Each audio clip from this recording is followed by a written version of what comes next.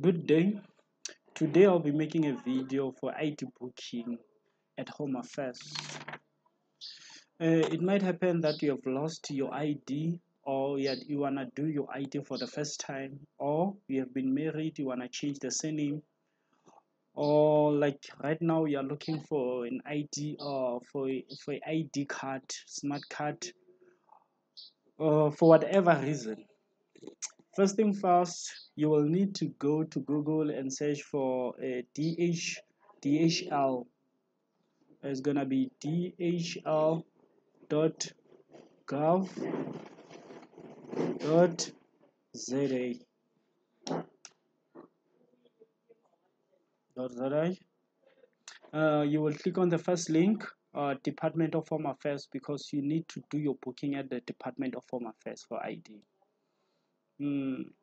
Or then it's gonna it's gonna put you on this site. When you see a site like this, uh, you can see the link here, and I'm also gonna like I'm gonna also gonna include the link below on the comments there. Uh, then you will click on the uh, branch appointment booking system booking online you click here on the second one here uh, uh, the first thing that's going to be required is an ID number. Then you put your ID number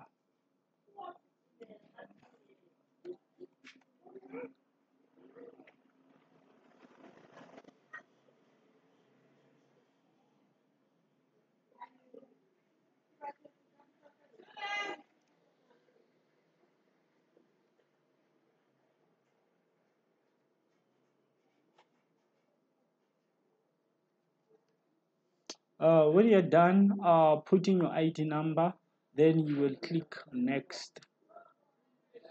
Uh, on the next one then fill this form here with and put all these details that they are requiring they are requiring in this form. Or uh, you'll start by putting your name.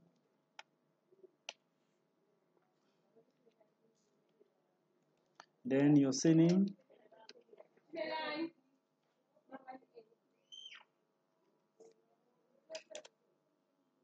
then your phone number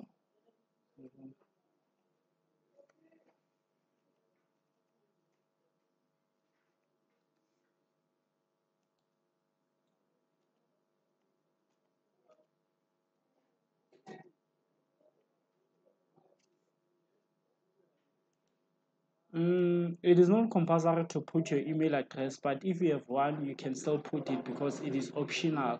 If you've got one, you can put your email address. When you're done, you go to key. Uh, then you go and schedule your schedule your appointment. Click on the schedule, the first one. Then you select the province I'm staying at Gauteng. I'm staying at Gauteng. Uh, it's gonna be Gauteng, Johannesburg. I'm staying at Soweto.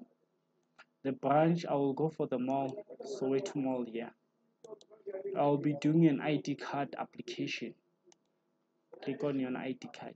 Here, it is the range between the date from today and the date that you are looking to do your ID card uh, let me look for the like I will just I'll, I'm gonna do the 23 of next month because the slot are open until the 23 of next month.